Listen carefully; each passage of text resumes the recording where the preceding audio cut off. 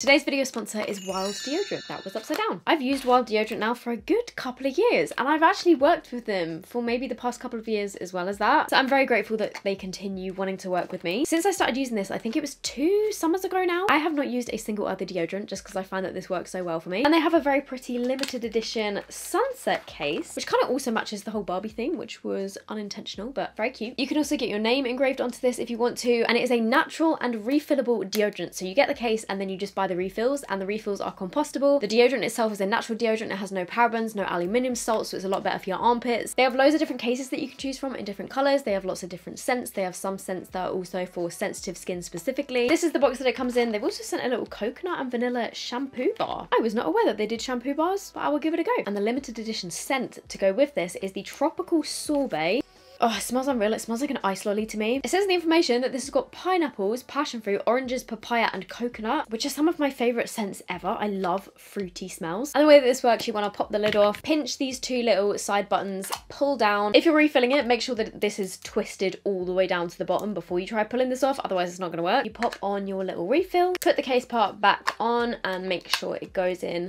with a click. And then you are ready to use your new deodorant. And you just do a couple of swipes under each armpit. Obviously you put the lid back on. They also do little minis if you are traveling and you want to i don't know shove one in your hand luggage. The little mini ones just look like this and you push them up with your finger like to come out the top like that. And you can use my code which is soph sunset it gets you 20 percent off of all wild products. I will leave a link down below. Thank you wild for sponsoring this video. Let's get on to the makeup. Hello. This is probably the only time you will ever see me wear pink. And i did order a much better t-shirt but it didn't arrive in time so i've literally just had to wear this this is the only pink thing that I had in my wardrobe. Today I'm testing some exciting new makeup launches and I'm to try and do a Barbie inspired thing because so many new launches are like pink and Barbie themed. So let's transform myself into a Barbie doll. I've got a real mixture of drugstore and high-end stuff. The first thing that I'm to try is the Boots Glow Essence. That's it just the glow essence. This was actually sent over in a PR package of things that people are using in Love Island because Boots is one of the Love Island sponsors and it says on it, I'm in the villa. So let's give this a try. I'm to kind of use this as a primer. Has anyone been watching Love Island this year? I've really been enjoying it. I feel like this year is so much better than the past couple seasons. I always start off by being like, I can't be bothered to watch it and then I'll watch a couple of episodes and then just get hooked into it. But yeah, I've really been enjoying it this year.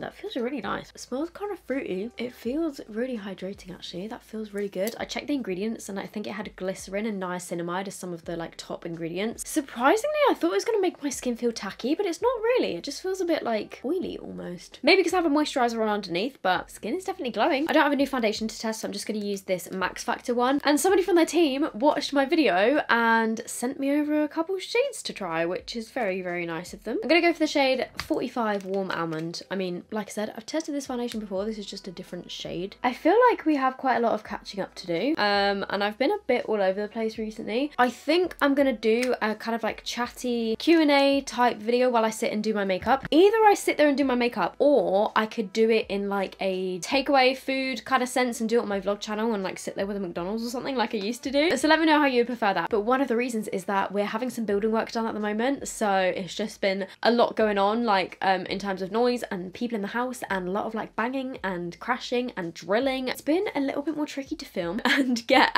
as much content done just adding a little bit more to see if it's buildable, but I think that shade is pretty good. And oh my god, for my mirror in this video, guys, NYX launched a Barbie collection. Look at this mirror. Hang on, let me just get it out. They have hit the nail on the head with this collection because when I opened it, I actually, oh, I've dropped it. I actually felt like a little kid again. Look at this mirror that they've launched. It's a flip phone. I used to have toy flip phones like this. I always wanted a pink flip phone. I never had a pink flip phone. Actually, did I? I got, when I was younger, the Motorola Razr, the limited edition purple one. Not the pink one, the purple one. That phone was sick, but how flipping cool is this mirror? One of them is a magnifying mirror and the other one is just a normal mirror, so I'm gonna use this for the rest of this video. Okay, this is so strange. The areas of my skin where I have some dry patches, this is kind of like clinging to, but it didn't do that when I used it before. I have a feeling it's the base that I'm using underneath that's gone a little bit sort of patchy. I'm going to do my concealer and bronzer because I don't have anything new, but I will be back for liquid blush. Just adding a little bit more concealer to my chin. For my blush, NARS recently launched some new liquid blushes. These are the Afterglow liquid blush, and I've got three different shades. I've got the shade Brazen, which is the only one that I've sort of dipped into so far. I've got Orgasm, which is a classic, and Dolce Vita, which is also a classic. So let's just have a quick look at these. I was lucky enough to be invited to the kind of launch event for these, but I didn't actually try them on the day. I tried the lip products, which I love. Oh, I don't know why I smelled it. It doesn't smell of anything. Oh my gosh. Okay, that one is Orgasm. That looks pretty. I tried the lip products though, which, oh my god. The NARS Afterglow lip balms are some of my favourite lip products ever of all time. And the new ones are just delightful. I will show you later. This one is Dolce Vita. That one's probably not my kind of shade. And then this one is Brazen, which is kind of like a peach. Hmm. You know what? I think I'm going to go for Orgasm because it's pink and I'm, there's a bit of a pink theme today. Not sure if you've noticed. But they're kind of like a balmy blush, which I'm a little bit scared about, if I'm honest. Oh, actually, all those colours mixed together look really nice. I get a little bit scared of like balmy cheek products because sometimes they can sort of like lift your foundation. Let's just go straight in with my cheek on one side. This might be a bad idea.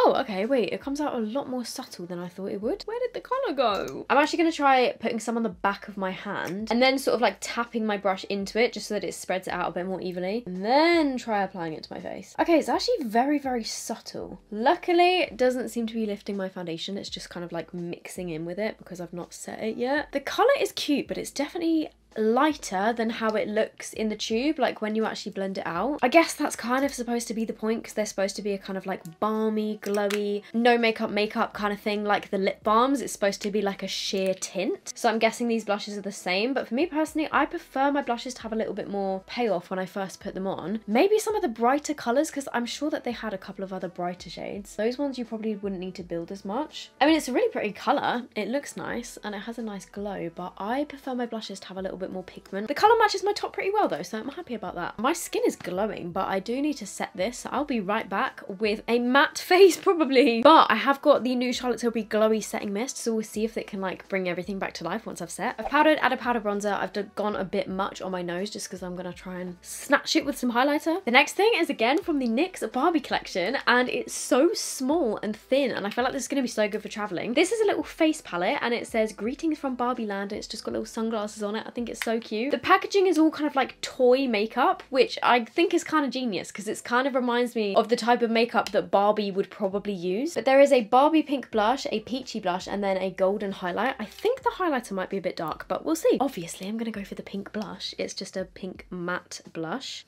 Oh my god, that is the most perfect like Barbie pink blush. How flippin' cute. The pans are a little bit small, so I'm using a slightly smaller brush. This is technically a highlighter brush, but I've been using a highlighter brush to do my blush recently. And it actually works pretty well. Oh my god, I love this colour. But it's so Barbie! Let's put some on my nose. On that same brush, I'm going to be brave and try the highlighter, which looks... Uh, maybe I could just about get away with it.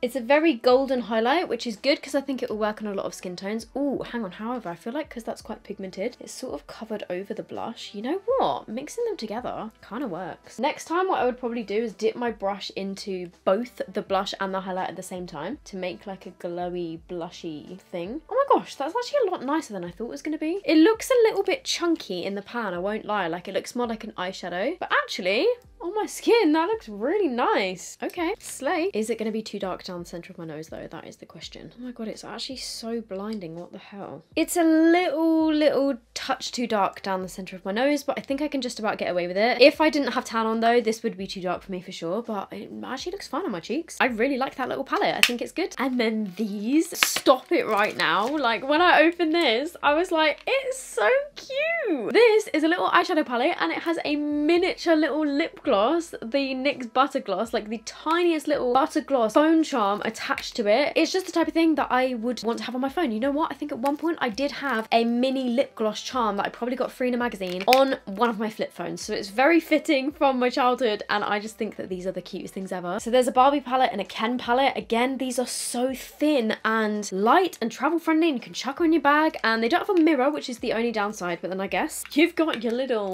flip phone and I've got to say, these eyeshadows actually look really nice. I hate when they do this though, where they put in like colours that go together in separate palettes. Like there's a matte pink in this one and a shimmery pink in this one, but no matte pink in this one. So if you want to do a pink look with shimmer and matte, you have to buy both of them, which is a little bit frustrating. But oh my god, these shimmers actually look so pretty. They're actually really cute. Then they've also launched jumbo eye pencils, again in Barbie and Ken. There's a pink and a blue. You know what? I'm actually so excited to see the film. I was obsessed with Barbie Barbie when I was younger. And then at a point I switched to Bratz instead and then it was like, oh no, not Barbie, I want Bratz now. I'm just lightly setting my eyes but not fully to the point where they're like matte. Quickly before we do that, I'm just going to do my eyebrows and I got sent over a little box from Rare Beauty which has got their new brow pencil in it. But I've got the shade Rich Taupe. So this is the brow pencil. It feels really nice. It's like metal and a little bit weighty and it's got a really skinny little diamond shape applicator which is really thin and looks good. And then on the other side you've just got a little spoolie. Normally i would go for like an ash brown kind of shade but this taupe does actually look darker than the regular sort of taupe shades that i see. Let's give it a go and see if i can get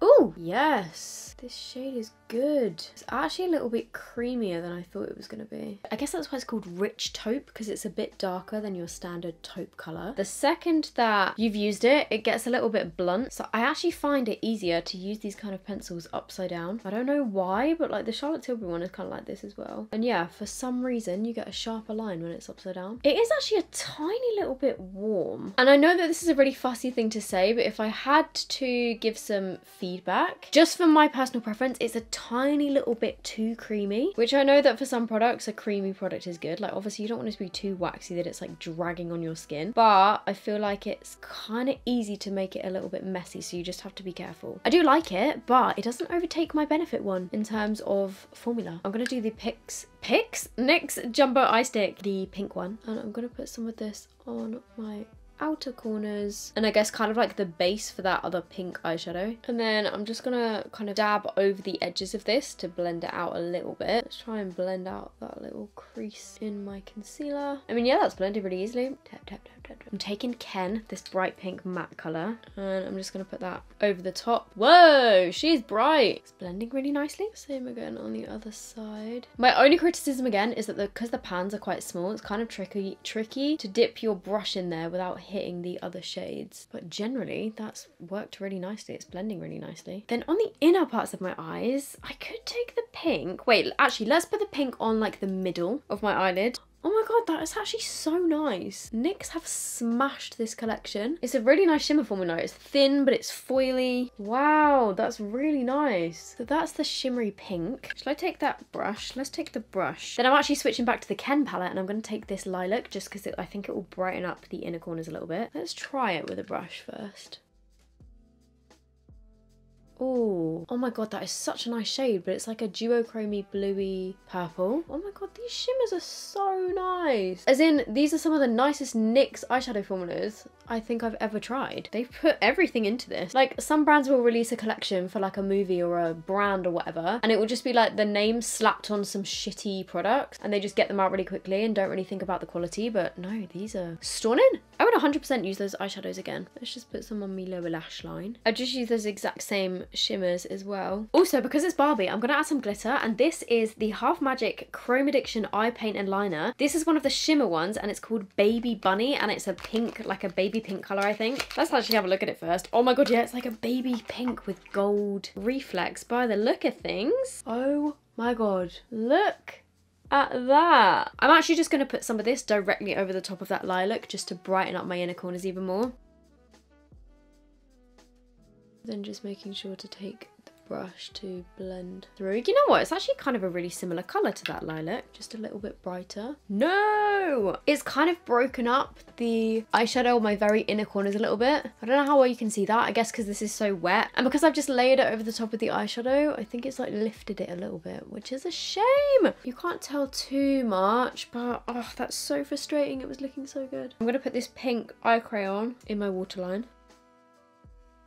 Think I've done a standard black wing liner in ages on my channel. I'm gonna do that and I'll be right back. So I've just done a double wing and then I drew these little like extra lashes on my lower lash line just because why not? For my mascara, I've got the Beauty Bay High Key Mascara, which I think has literally just launched. I believe that this is Beauty Bay's first mascara. So let's give this a whirl. Oh my god, what does that brush remind me of? That looks very familiar. If this is supposed to be a dupe of something, let me know. Okay, so far it seems like quite a dry formula, which I like. It's got very short Actually, they're not that short, like spiky bristles. So far, it's doing a pretty good job actually at giving my lashes volume and length. It is going a little bit clumpy. However, all of my favourite mascaras are a little bit clumpy because then you get more volume with them. Yeah, wow, actually, it's building nicely. Look at those. Let's just do my lower lashes. Even with heavy eye makeup on, I can tell that that mascara has done a really good job. I'm really impressed with that. Nice. I'm having a dilemma because NYX have launched Barbie matte lip creams, which look stunning and would match this perfectly. They've also got a Barbie butter gloss, which is this hot pink colour. However, I've tested a lot of the NYX collection in this video and I really want to try the new Charlotte Tilbury lip things. So maybe I'll try those and then if I don't like them, I'll take them off and try one of these. Oh crap, guys, I forgot to do my setting spray before my mascara. At this point in the video, my makeup has started to go like a little bit shiny anyway because the foundation was glowy. So let me just mattify again. And then we have got this, which is the Charlotte Tilbury Magic Hydrator Mist for Radiant Skin. I don't know if this is supposed to stick on your makeup. Hydration in a flash. Ooh, it smells fresh. I have a feeling it's not going to be the type of makeup mist that sets your makeup on because it's just going to give that hydration back. Let's give it a go. Okay. Ooh. My mascara smudged a little bit. This is why. It has definitely given some hydration to my skin. Dried pretty quickly. Not overly glowy though. Not like crazy amount of glow. I'm just taking this dark purpley brown sort of colour. Oh, actually it's a purple in it. And I'm to put that on the back of my hand. Give it a spray. My Nimya fan is actually charged for once in my life. I've got to say, that does look gorgeous on the rest of my skin. Like it's added glow, but not oiliness. While that continues to dry, I think I've got it all in my hair. I'm going to try one of these Charlotte Tilbury lip blur airbrush things, which kind of just look like the NYX soft matte lip cream kind of things. And they're like, oh, it's this lip blotting blurring effect. I'm like, no, it's just a matte lip cream, which has been around for years, but whatever. I'm gonna go for the pink shade to match the rest of my makeup. This is called Rose Blur. The packaging is nice. I think they look cool. Oh my god, it smells exactly like the Anastasia Beverly Hills liquid lipsticks. Or like, you know that old classic liquid lipstick smell that's like vanilla with a hint of lipstick? Actually, it does feel really, really light. I was about to say it's cute, but NYX did this years ago. It definitely feels lighter than the soft matte lip creams, but it's just a matte lip cream. It doesn't match my eyes enough, so I think I'm to take this off and do a bright pink. But it feels nice. It feels very lightweight. Like, it's not like a matte liquid lipstick, but it's got that, like, whipped sort of texture Oh, interesting. It doesn't transfer too much. It just has a tiny bit of transfer, which is nice, but not really my thing. Feels a bit too dry. Okay, let's test this eyeshadow swatch. I have a feeling it's gonna smudge. Yeah, it's just a smudgy one, but that's okay. That's okay. You know what? Charlotte Tilbury's got an amazing setting mist that does stick your makeup on, but if you want one that gives you more hydration and like adds life back into your skin, it's actually really nice. Oh my God, but I also have the NARS ones. Let's try Dolce Vita because I don't have a pink one in these, but I just want to put put it on my lips because I know... Oh, they don't really smell. That's interesting. I tried one of these on at the event. Oh my god. They actually melt like butter. Oh, this colour's actually really nice. This one is Dolce Vita. Oh my god. If you like the NARS Afterglow lip balms, you will love these. It's basically those, but just with more colour. It is one of the most like hydrating, but thin, but like pigmented actually lipsticks it feels like actual butter like it's so smooth. They're amazing. Okay how many lip products can i put on my lips in one video? I'm gonna take it off although this does actually match the eyes really nicely. It is cute but i want to go full barbie. That one's more red this one's more hot pink. Let's do the hot pink. Dream house pink. Such cute packaging. Oh my god. Oh my god they smell unreal. That is giving Barbie. Mmm. Mmm. It's one of their matte lip creams, but this one just feels like extra pigmented and creamy. It feels amazing and the colour payoff, incredible. I love it. It feels so comfortable. Like it's matte, but it's not like dry matte, it's creamy matte. So there we go. And to top this all off, I'm gonna put on the Barbie lashes. I will be right back. I'm not gonna do this on camera because my camera is nearly out of footage. I'm just gonna stick these on, but they are the NYX Barbie lashes. Oh my God, wait, they have a bit of pink in them. They're an ombre lash with pink. Let's try it anyway. So I stuck on some gems and the lashes and this is the finished look. Those lashes actually feel really lightweight. I like them. So that is the finished look. I hope you guys enjoyed this. If you did, please give it a thumbs up. I will leave all the products that I used down below. And if you're not already subscribed, I would love to have you. I hope you guys are good and I will see you in my next video. Bye!